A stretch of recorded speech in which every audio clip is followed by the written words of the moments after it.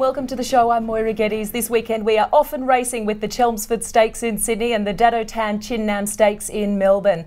Also coming up, the Daily Telegraph, the Herald Sun and the Courier Mail's top racing experts reveal their best bets. Entirely Platinum is the, this week's pony in profile, so stay watching for all of his stats. We bring you the most on-trend fashions on the field with Melissa Hoyer from news.com.au and last but not least, the latest odds for this weekend's meets. Before we jump the gates though, let's take a quick look at last weekend's Group 1 finish. But it's Dissident who takes the lead clearly, starts to race away. Dissident bolted in by two lengths. Sweet Idea second, Puissance de Lune hit away third. Front, Hallowed Crown is coming right down the outside with Kamayon. Hallowed Crown! Hallowed Crown has won it and remains undefeated. And joining me every week with all the know is none other than the Daily Telegraph's racing editor, Ray Thomas.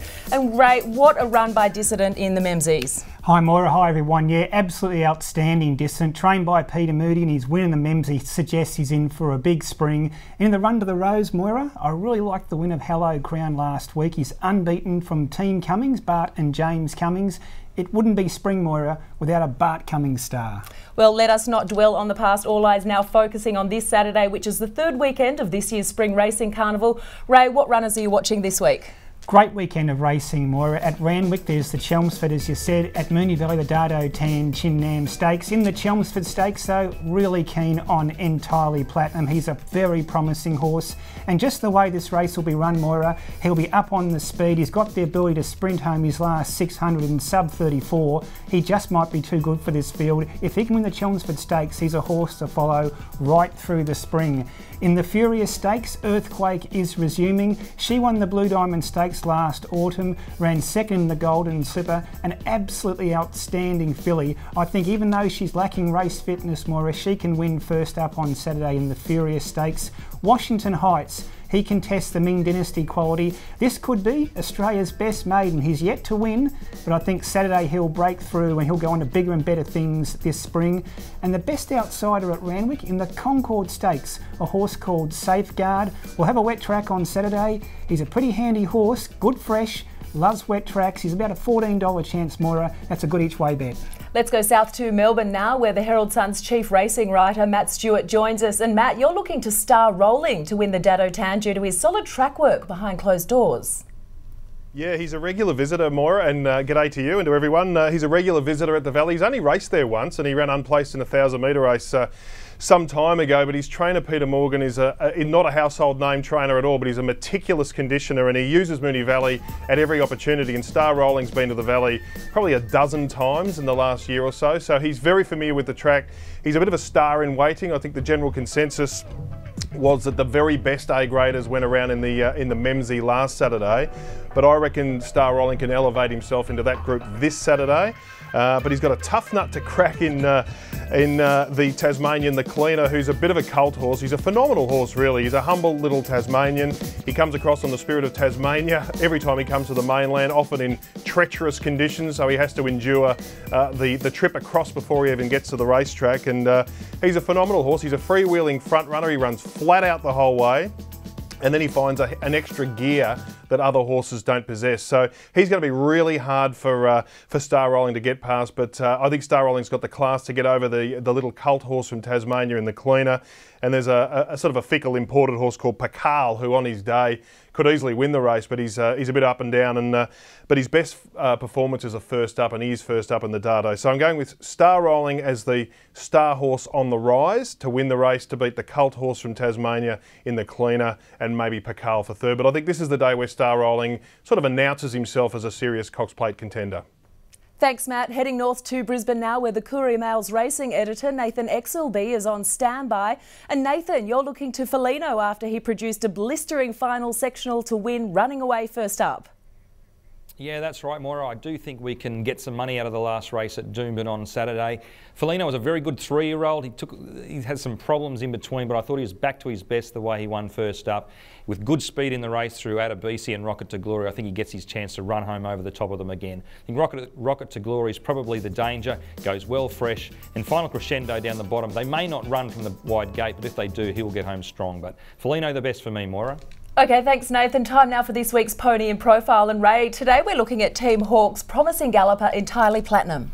We are Moira, and look, on a day when the Melbourne Cup favourite The Offer resumes and also the world's best sprinter Lankan Rupee races in Melbourne, my focus will be on Entirely Platinum here in Sydney. This is an up and coming racehorse. He's in the Chelmsford Stakes as we mentioned earlier. He'll carry weight for age on Saturday, but he's a big hulking horse, Moira, so 59 kilos won't bother him.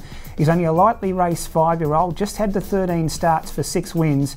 His star is on the rise. He's a horse to follow. If he wins the Chelmsford Stakes, there's bigger and better things coming up for Entirely Platinum through the spring. All right, well, the latest odds coming up next. First, now it is time to check out the latest often racing fashions on the field. And this week's gorgeous outfits are proudly brought to you by Westfield Burwood. And here to take us through today's look is news.com.au's Melissa Hoyer. And Mel, I'm loving the small flower you're using as a fascinator. That look really is hot right now. Well, it is all about the fashion stakes. It's not just about horses, but yes, it's all about small accessories this spring. And this little number is from Lovisa, and it's available at Westfield Burwood. It's very inexpensive too. Anyway, if you do like that, you're going to love the entire looks I've got for you today. We're first starting with our beautiful, beautiful filly. The Spring Racing Carnival, of course, is a perfect opportunity to be adventurous with your outfit.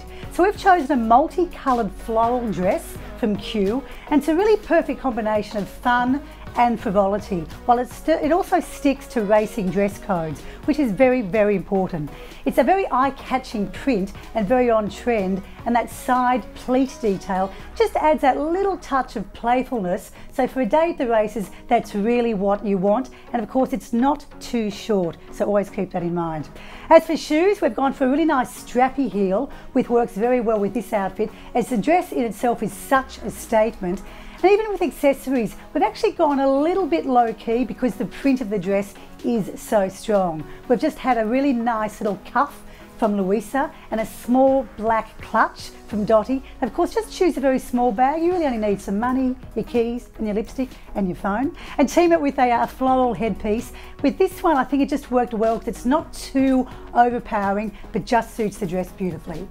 Of course, Moira, we know that racing isn't just restricted to the ladies. So each year, boys are really getting more and more fashion conscious. So we've got something for them too. And what we've chosen is the most beautiful, beautiful blue suit. It's so slim fitting and it's from the label Oxford. And I think uh, racing with men is the perfect time when boys can be a little bit more adventurous. So we've put a classic white shirt, we've put a really nice little paisley tie and a silk pocket square. So it's all about the details like the pocket square. And even some guys are going to be wearing trilby hats. So get your hat together if you're planning on wearing your hat. So really, if you want to uh, get the uh, boys and the girls looking on trend, take these tips. Anyway, all of this is available from Westfield at Burwood.